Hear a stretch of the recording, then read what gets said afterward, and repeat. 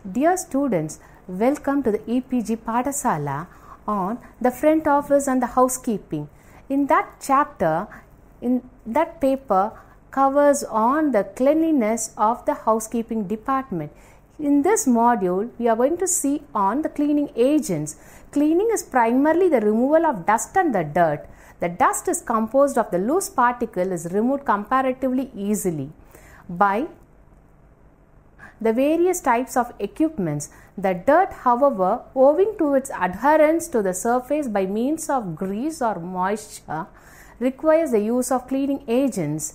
The cleanliness is important for many reasons which has the impact on the guest. In this module, we are going to see on the cleaning agents.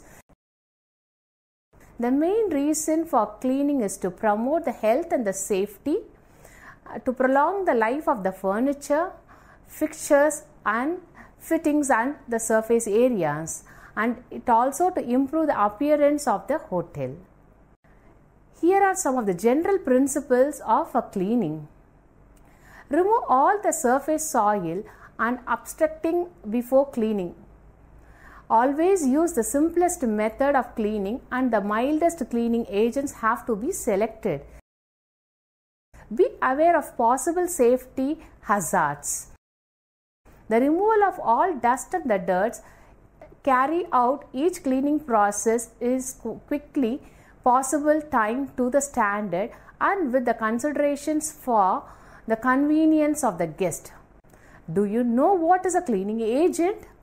Cleaning agent in general can be defined as a natural or a synthetic substances used in uh, conjunction with the right equipment that is used to assist the cleaning procedures and to facilitate the removal of the dust and the dirt. The use of the cleaning agents as well as the cleaning equipment has become very necessary in the housekeeping department. The various types of cleaning agents are used for the cleaning the guest rooms, the baths and the public areas. Typically, uh, cleaning agents include the aqueous and semi-aqueous cleaning agents, solvents, acid, alkalis and abrasive used by the housekeeping staff. Some of the popularly used cleaning agents in the hotels under the brand names of Ecolab and Taski. Now I am going to discuss about the classification of the cleaning agents. It can be broadly classified as a solvents, detergents, abrasive, alkaline, acid, bleaches, waxes and polishes. The first one is on solvent.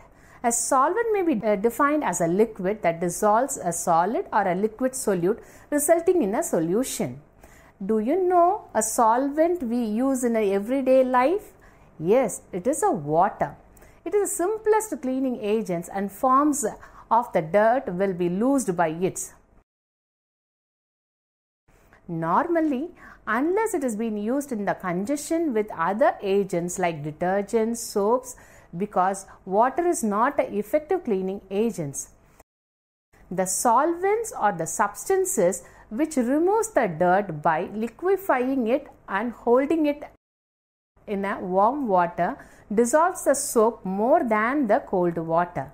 Hence, it must be used to remove the dirty soap lather. Most of the detergents are ineffective with hot water. More water does not wet the surface adequately, which is a precondition for a good action. The next interesting cleaning agents that we use in everyday life is a detergent and soaps. Detergent is a compound or a mixture of compounds intended to assist clean. The term is sometimes used to differentiate between the soap and other chemical surfactant for cleaning purposes. Detergents are the cleaning agents which when used with water can loosen and remove the dirt and then hold it in a suspension so that no redeposit on the cleaning surfaces. Detergents have a good emulsifying power so that the grease or the oil are broken up and extended dissolved. It has a good suspension power so dirt particles when suspended in the solution. Detergents are more effective over the wide range of temperature. It is harmless to the article as well as to the human skin. With a minimum agitation, the solvent will dissolve in water and it cleans quickly. The detergents and the soaps are used for cleaning because the pure water does not remove the oily organic soiling. The soap cleans by acting as a emulsifier. Basically, a soap allows the oil and water to mix so that the oil grimy can be removed during the rinsing time. Detergents are primarily a surfactants which are produced from the petrochemicals which lowers the surface tension of the water, essentially making it wetter so that it will less likely to stick it to the itself and more likely to interact with the oil and the grease. Detergents are similar to soap but they are li- less likely to form a films, a soapy scum or not as affected by the presence of minerals in water, especially in hot water. Now we are going to see how the abrasive act as a cleaning agents. Abrasives are the substances used for removing or cleaning dirt from the hard surface. The extent to which they will rub or scratch a surface depends on the nature of the abrasive material and on the size and the shape of the particles. Abrasive cleaners generally use some kind of grit to boost their cleaning ability along with the detergent, acid, alkalis, and other compounds. Some are in the powder form while other are a suspension of abrasive will be in liquid form. The quartz or the silica that constitutes the grit will easily scratch or damage a softer surface such as a laminated uh, photo frames or the fiberglasses, stainless steel, etc. Precautionary measures have to be taken while cleaning a very hard surface such as porcelain. Abrasive will dull and scratch the surface. This is the drawback once we use the abrasive. Let us move on to the Classification of the abrasive. They are broadly classified as a fine abrasive, medium abrasive and the hard or the coarse abrasives. The fine abrasives including a whiting which is nothing but a filtered chalk, jewels rouge which will be a pink oxide of brown used for the shining silver. Commercially the fine abrasives are sold as a silver polishes. Next one is on the medium abrasive which includes the scratching powder and the paste. The scouring powders are made up of the fine minerals, generally a limestone or a calcite mixed with soap or detergent and the alkalis to remove the grease and a little bleach has been included in the mild abrasive. The last abrasive is on hard or the coarse abrasive includes sand, paper, steel wool, etc. Some more examples are the glass, sand, and emery, hard paper, nylon web, powder, pumice, and the fine ash. Uh, these are being used as a finely ground powder like our vim or a liquid or a cream form. The abrasive cleaners will soften will often works with other will be failed. The liquid abrasive generally are more expensive but it is more convenient to use. So it have to be stored in a proper way. Have you seen a liquid cleaning agents? Do you know it, how it have to be used? These can be either diluted in liquid in a little water or used directly with a dry cloth. The common liquid cleaning agent is an ammonia already you may have heard about what is ammonia and ammonia belongs to the alkali group which softens the water and act as a emulsifiers to grease the dirt. The second one is on the methylated spirits are effective against the grease stains. Next one is on paraffin oil is also a grease solvent. The fourth one is on turpentine. which are oftenly used against the grease and the paint solvents. The vinegar is the mild acid. The other chemical name for vinegar you may have heard about it is an acetic acid and it has been affected by hard water and it have to be useful in removing the light stains in baths. The next one is on the hydrochloric acid. Hydrochloric acid comes under the strong acid classification. It has been useful for removing a stubborn stains in the bathrooms, but care have to be taken once we use because it will damage our skin and destroy the fabrics and bathroom fittings. The last one is on the carbon tetrachloride which is an excellent grease solvent but a care have to be taken once we exercised this type of chemical because it is these fumes are more corrosive and harmful. Next one is on the common cleaning agents that you may have seen it in a very small age your mom may be using on the washing soda. Washing soda is quite outdated due to the advent of the domestic detergents like our Vim. However, it is particularly useful for the emulsifying the grease on the drain pipes or the gutters or the stone surfaces. In stronger concentration, it will cause irritation and injuries to the skin as well as to the fabrics, the brushes, the wood and the paint. So precautionary measures have to be taken once we use the washing soda. Washing soda is useful as the water soften and it has a chlorinated compound. In the laundering agents modules, you may have learnt about how what is soap and soap's classification. For example, it can be classified according to the nature, bars, powders and flakes. Here you are going to learn how soap is being used as a cleaning agent. Nowadays, soap have been replaced by an excellent synthetic soap, less detergent are being unaffected by hard water. In this case, rinsing is not important as these are suspended dirt and the grit most effective without leaving a smear. So, soap powders and flakes are useful in getting the instant lather, but the soap powders and flakes are quite expensive. Care should be taken that we are thoroughly dissolving these types of soap powders and flakes. Being expensive one, it should be stored in a proper way. Uh, too much powder or flakes dissolved to get an optimum concentration, best result and also how long this resultant solution will be effective. A good bar soaps are still most economical but much more strenuous to use in a modern method they should be stored in shelves in a dry storage place. The cleaning agents used to clean the windows are also known as window cleaners.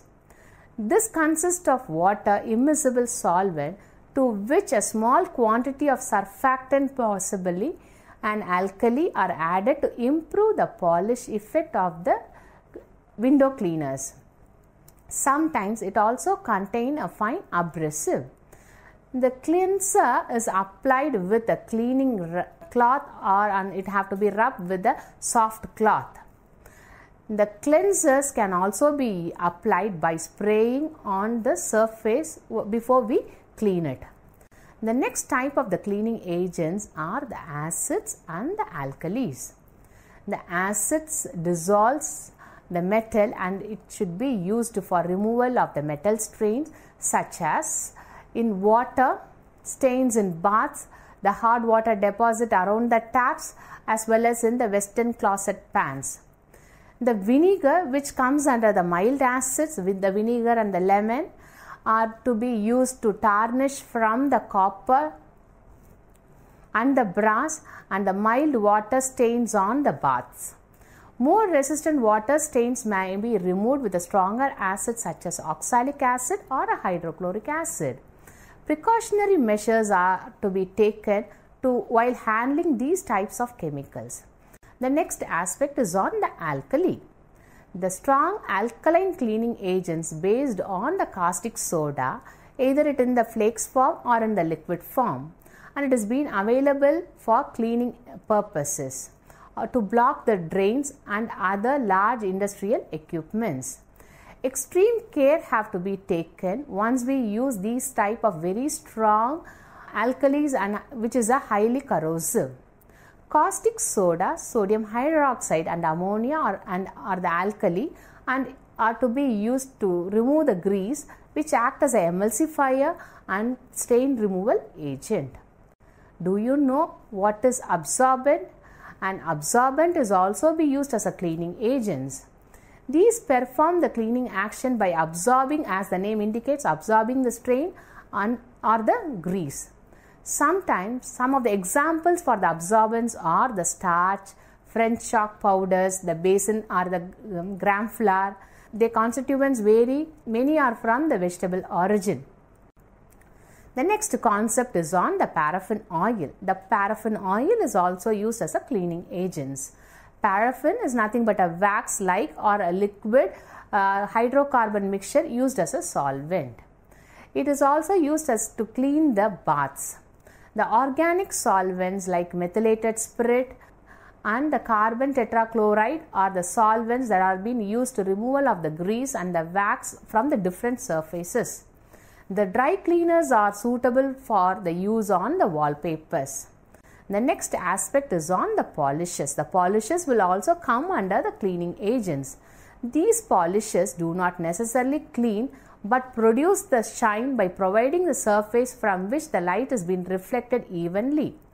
They do this by smoothing unevenness on the surfaces of the articles.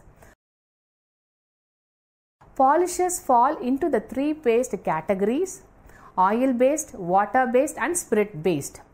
And it is being used primarily for the mirrors, the pans, and the oil based is being used for woods, uh, linoleum, and synthetic flooring on the leather. The water based is being used for on the sealed floor, rubber, and thermoplastic floors. Polishes may be used only after the dirt or the dust has been removed from the surface should be used in a small quantities to ensure that the correct type of polish is being used to correct method of polishing. Polishes comes in three forms, either in the liquid form or a paste form or in a cream form.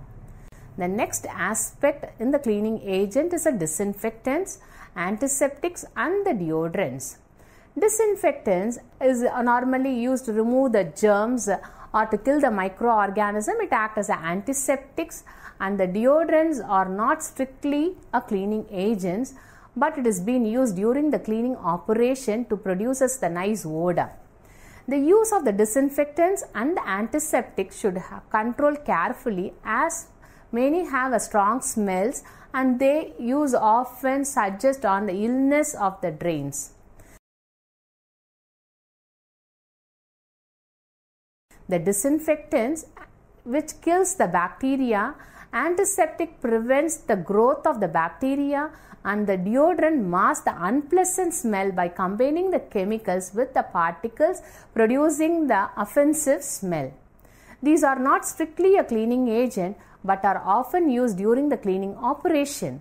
The use of the disinfectants and antiseptics should be controlled carefully as many have a strong smells and they use often suggest the illness or a bad drains is being obtained. Antiseptic prevents the bacteria growth and frequently it is being used as a dilute disinfectants.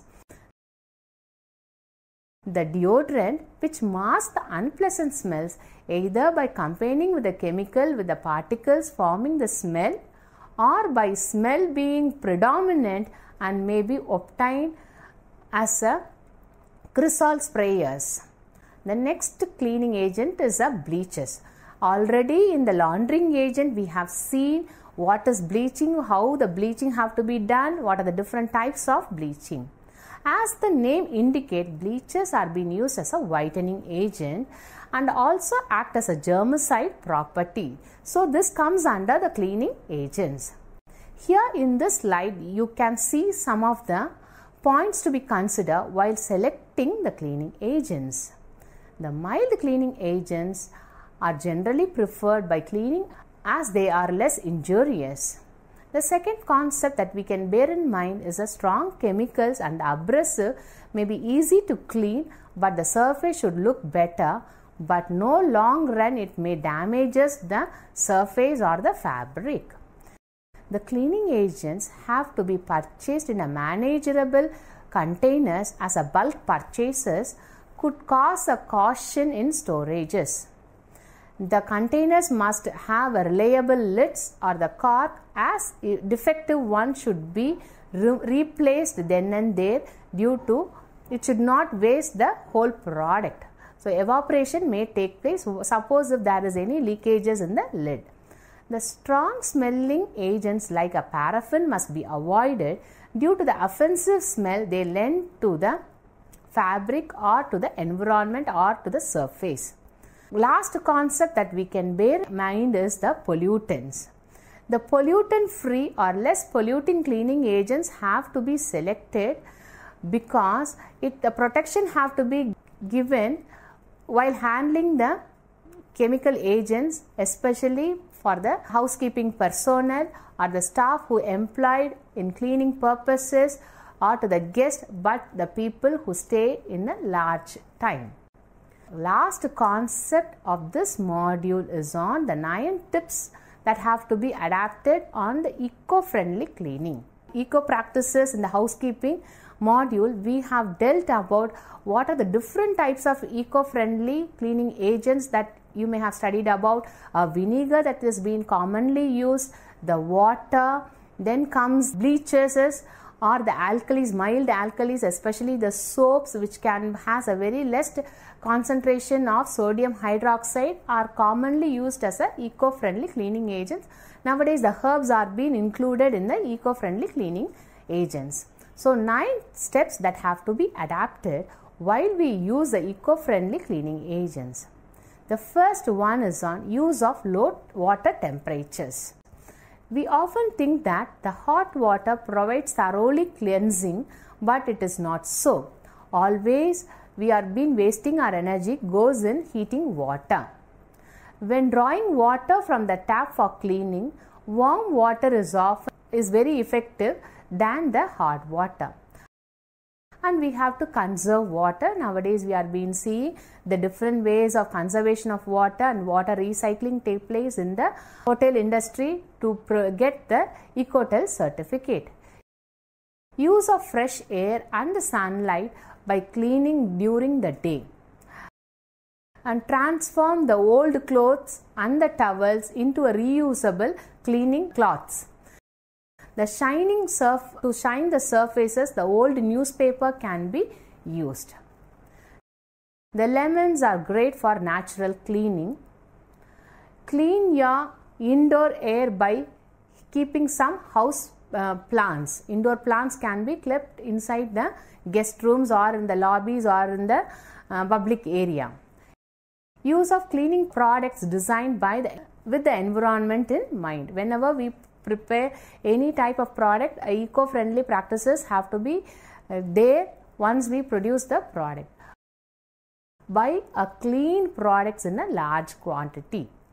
Let us summarize this module. So far I have discussed about what is cleaning agent, how cleaning agents are being used and how effectively the cleaning agent is important during the cleaning operations. We have further learnt about the various types of cleaning agents normally it have to uh, a few hours to name us a few some are water solvents abrasives soaps detergents uh, alkalis polishes bleachers abrasives. And also in this lesson we have dealt in detail about the cleaning selection of the cleaning agents how it have to be stored in once we purchased in the large quantities. You may also learnt about the points to be considered while selecting the cleaning agents while using a eco-friendly cleaning agents is the need of the hour. Thank you.